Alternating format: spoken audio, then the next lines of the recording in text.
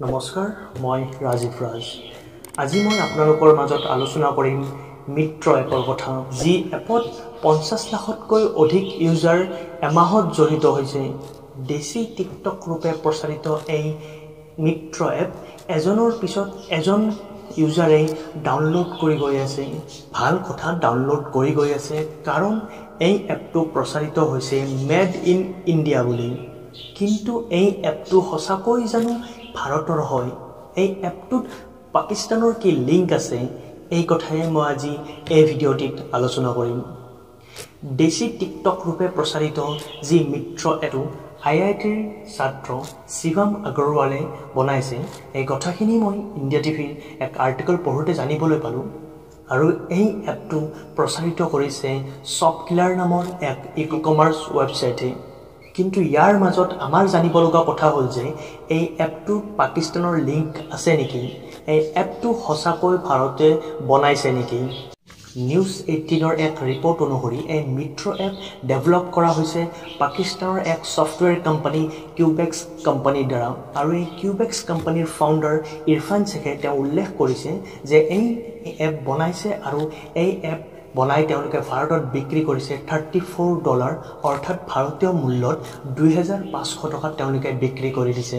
ইৰফান শ্বেখে উল্লেখ কৰিছে যে তেওঁলোকে টিকটকৰ এক চ'ৰ্চ কোড বনাইছিল যাক তেওঁলোকে নাম দিছিল টিক টিক আৰু এই চ'ৰ্চ কোডে তেওঁলোকে দুইশ বাইছ কাষ্টমাৰৰ ওচৰত তেওঁলোকে বিক্ৰী কৰিছিল আৰু তাত ভাৰতীয়ও আছিলে। আৰু এই ভাৰতীয় তেওঁলোকে কি কৰিলে এই দুহেজাৰ পাঁচশ টকাত তেওঁলোকে এই এপটোৰ চ'ৰ্চ কোড ক্ৰয় কৰি ভাৰতত ৰিব্ৰেণ্ড নাম দিলে মিত্ৰ এপ ইৰফান শ্বেখে লগতে উল্লেখ কৰিছে যে তেওঁলোকৰ একো প্ৰব্লেম নাই কাৰণ তেওঁলোকে এই চ'ৰ্চ কোড তেওঁলোকে বিক্ৰী কৰে এইটো লিগেল হয় আৰু তেওঁলোকে বিক্ৰী কৰাৰ পিছত কাষ্টমাৰে কেনেকৈ ইউজ কৰে সেইটো কাষ্টমাৰৰ ওপৰত নিৰ্ভৰ কৰে।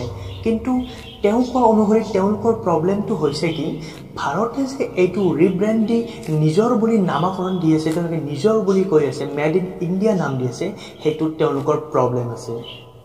তেওঁলোকে কৈছে যে আমাৰ এই টিক টিক চ'ৰ্চ কোডৰ লগত আপোনালোকে সেই মিত্ৰ এপৰ চ'ৰ্চ কোড মিলাই চাওক আপোনালোকৰ টেকনিকেল টিম পঠাওক আৰু এইবোৰ আপোনালোকে মিলাই চাওক আমাৰ এই বিক্ৰী কৰা চ'ৰ্চ কোডৰ লগত আপোনালোকৰ মিত্ৰ এপৰ চ'ৰ্চ কোডৰ মিল থাকিব। তেওঁ বহু কনফিডেণ্ট হৈ এই কথাষাৰ তেওঁ উল্লেখ কৰিছে আৰু তেওঁ টেকনিকেল টিম পঠোৱাৰ কথা উল্লেখ কৰিছে। ছেকেণ্ডলি নিউজ এইটিনে উল্লেখ কৰা অনুসৰি এই এপটো যেতিয়া ডাউনলোড কৰিব যাব তাত কোনো প্ৰাইভেচি পলিচি নাই। অৰ্থাৎ আমি যেতিয়া কোনোবা এপ ডাউনলোড কৰিম তাত বিভিন্ন প্ৰাইভেচি পলিচি থাকে সেইবোৰ আমি পঢ়ি পেলাইহে আমি ডাউনলোড কৰিব লাগে। যাতে আমি গম পাওঁ আমাৰ যিবিলাক প্ৰাইভেচি আছে তাত ছিকিউৰ হ'বনে নহয়। কাৰণ কিয়? যেতিয়া আমি এটা এপ ইনষ্টল কৰিম যেতিয়া তাক আমি ইউজ কৰিবলৈ ল'ম তেতিয়া আপোনালোকে দেখিছে বিভিন্ন আমাক পাৰ্মিশ্যন বিচাৰে যাতে আমাৰ কণ্টেক্টছ পাৰ্মিশ্যন বিচাৰে আমাৰ মেছেজ পাৰ্মিশ্যন বিচাৰে গোটেই পাৰ্মিশ্যন তেওঁলোকে বিচাৰে।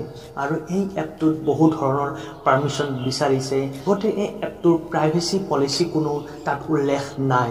গতিকে ই এক চিন্তাৰ বিষয়।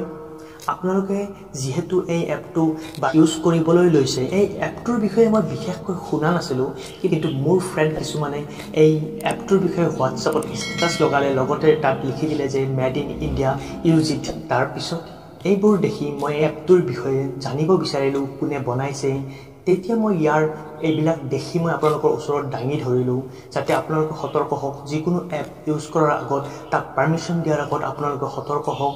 এইটো মোৰ দৃষ্টিভংগীৰে সঁচা যেন লাগিছে যে এই এপটো ডেভেলপ কৰিছে পাকিস্তানত আৰু এই এপটো এতিয়া মেনেজ কৰি আছে ভাৰতীয়ই গতিকে ইয়াক আমি মেড ইন ইণ্ডিয়া বুলি ক'ব নোৱাৰোঁ। যদিহে মোৰ এই ভিডিঅ'টো আপোনালোকৰ ভাল লাগিলে মোৰ বিষয়বস্তুবোৰ আপোনালোকৰ ভাল লাগিলে তেনে চেনেলটো ছাবস্ক্ৰাইব কৰিব। ধন্যবাদ।